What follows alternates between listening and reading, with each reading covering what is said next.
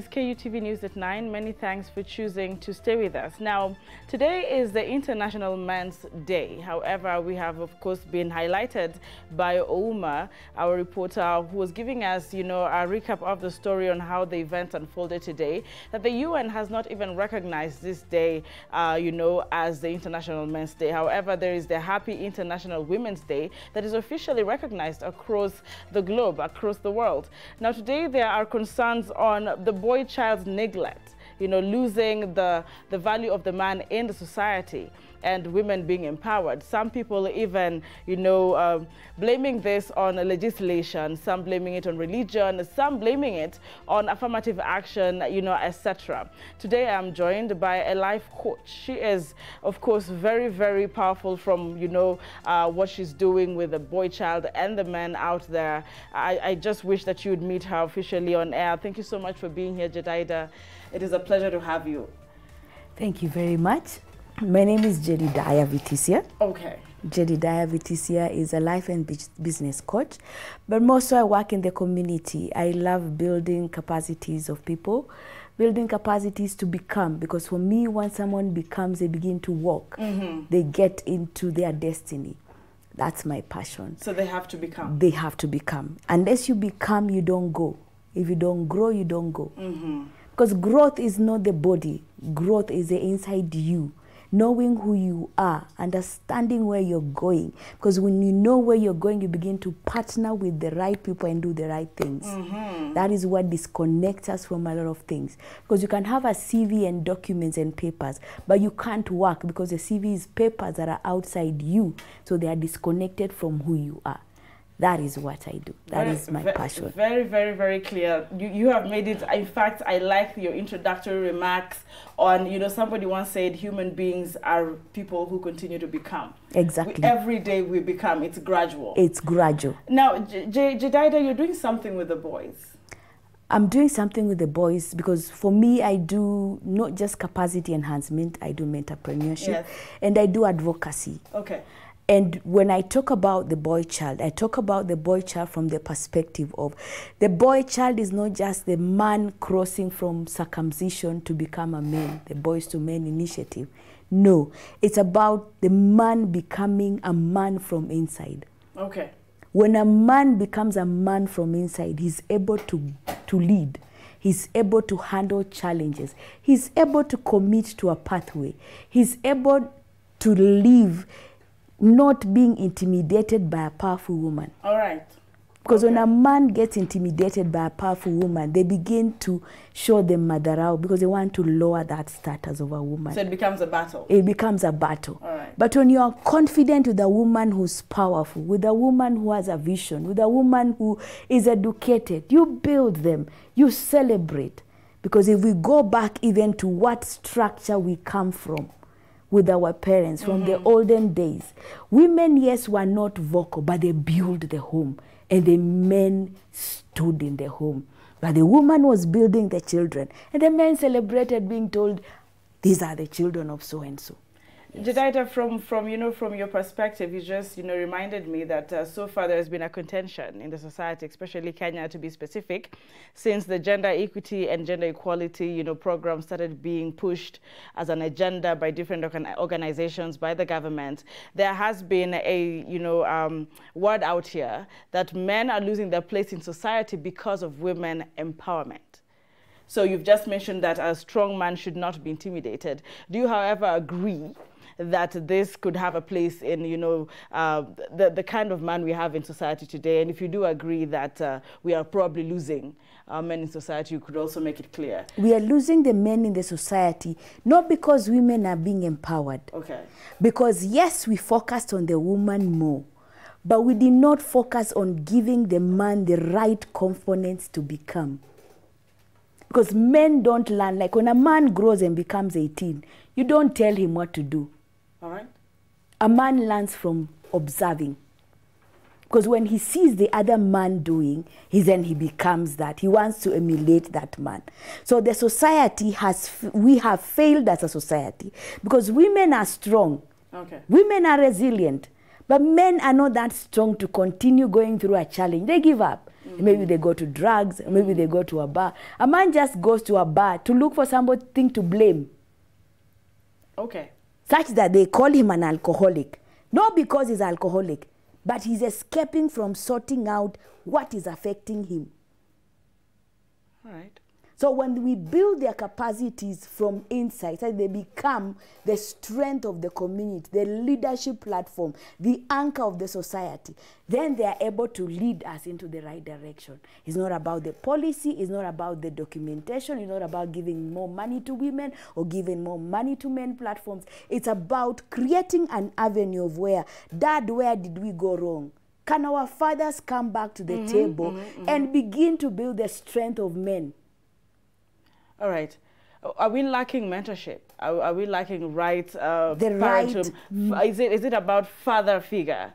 Is We it about lacking- uncles and, and, and men to work with these boys? You have said the right thing. Okay. We are lacking right platforms for father figures. We are lacking right platforms for anchor figures. Because long time ago, when men were circumcised, they went through the challenges of being taught by grandfathers what a man is. All right. Now, yes, we take them through church platforms of crossovers. But do those crossovers feed them to the extent of them becoming men?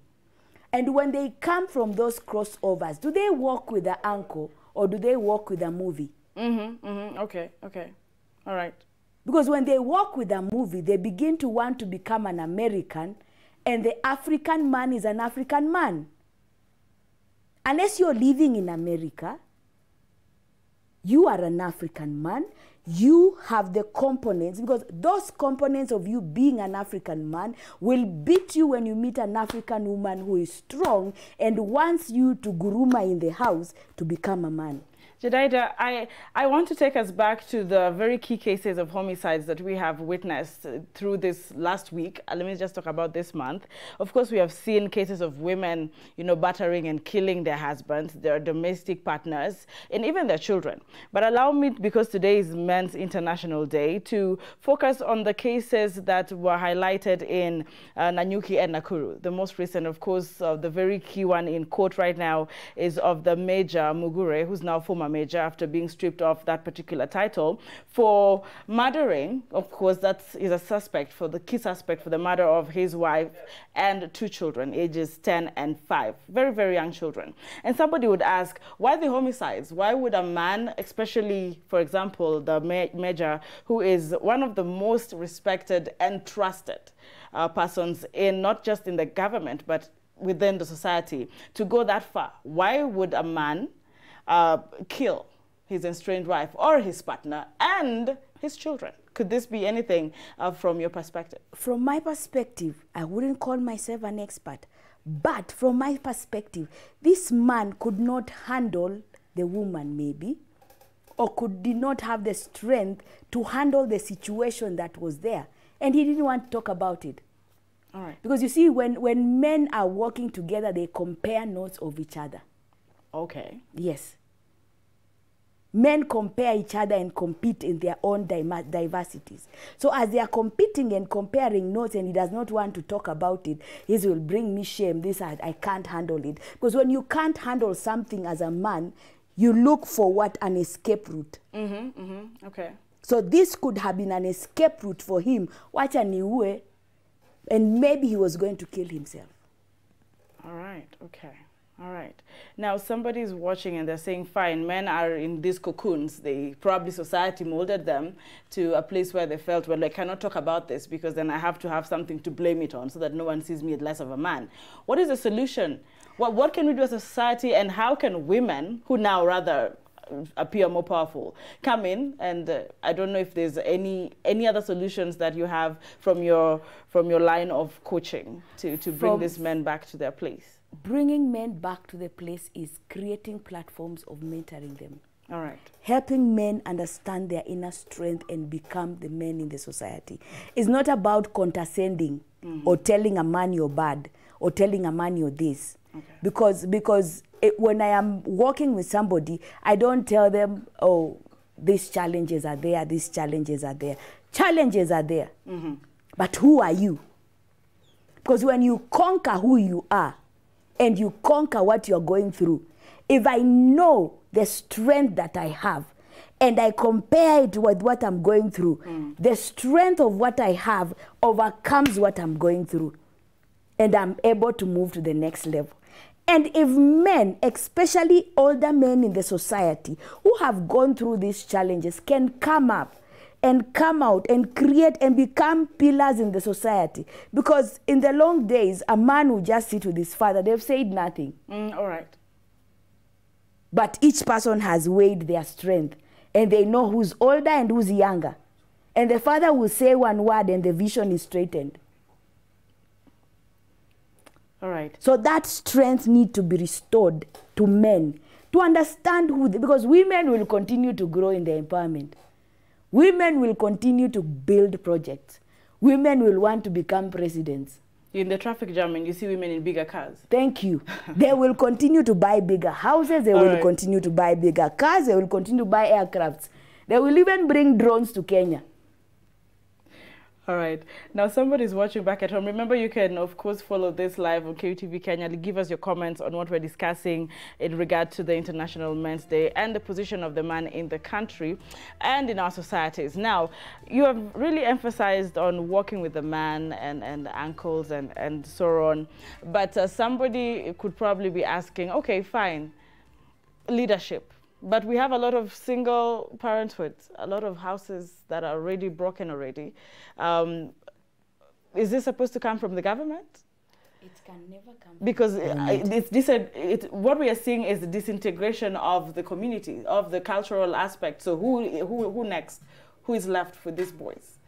You see, from my perspective, perspective, marriages don't stand. Not because that men are bad, no. Okay. Because this man didn't have the capacity to handle this woman. You still insist that? I it? insist that. Okay. I still stand with that. Because, because a woman will walk out of a marriage because they think the man is not able to handle them, or the man is not able to provide, or the man is not able to do something. So they will chase the man out, or the marriage breaks. Even if the government is to create policy that men should stay married, women or men will still walk away. So it's an emotional issue. it is not a policy issue. It is not a money issue. Because a man will have so much money, give this woman so much money, bring so much money, build a huge house, but the marriage may break. So what went wrong? All right. Yes. Now, there's a man watching today and they're thinking, okay, fine, this is where I am right now. I've done my mistakes. I, I am where I am. How do they start the internal work themselves? You're a life coach from your angle now. His personal efforts, where does he start from? Without even his group, this mentorship that, that are being brought up, where does he start from? How can he begin this journey again and be the father of the next kin that could now establish a better generation of men? Where can he start from? Mm-hmm. The first thing, the first step that this man should actually accept where he is. Okay. Because what I believe is, is when you don't accept where you are, you remain in the mud of wallowing with what you're going through. Accept it. Now begin to understand who you are. Because unless you pick up who you are, you will remain not knowing where you're going. Mm-hmm. All right. Okay. Because when you know who you are, you will work on you to become it. And working on you to become it is connecting to the right people, the right platforms, doing the right things, not watching movies every now and then, changing what you read, changing what you understand, changing what you do, creating an initiative, giving back to the society, loving yourself. And in the process, you become a man who understands even if this strong woman comes into my life, I can handle her because I know where I'm going, I know what to become, I know what I can do, I know who I am, I have a destiny pathway. I'm not just a useless man sitting around like a loaf of bread. All right, allow me to laugh at that particular remark. You're not just a loaf of bread. Jedidah, as we close, um, I would personally acknowledge that men are very important in society. Oh, they are very Um, important. So, as we give your parting words, the value of a man in the society as Jedidah, where As Jedediah. God created men first in his image and his likeness. So the first representation and structure of who God is is a man. Okay. He saw the void and brought a woman for the strength, for building a community, for building the entire world, and for taking care of it. So men have a position and they are important. And reinforcing that position will bring leadership, will bring the right structure. See, in a community, in a home even, like when I used to see my mom, well, let me use my mother as a structure. My mother would just begin to make noise in the house for my mother to say, for my father to say a word of mm-hmm. enough. Okay. That was it. That was it. Okay. To understand whether the strength is still in the house. So men have their position and they are very important in the community. Thank you so much for being here. I have heard you correct me over and over again. It is Jedidiah. Thank you very and much. And not Jedida. Yes. Thank you so much for being here. You are been you've been very inspirational, and of course, I'm sure the the viewer back at home is challenged to have seen a woman speak very strongly uh, on behalf of men. Thank you very much. We're looking forward to, of course, many other men tweeting and watching tonight to tell us what you picked from this particular conversation on the International Men's Day and the value of man in the society. Now, let's take a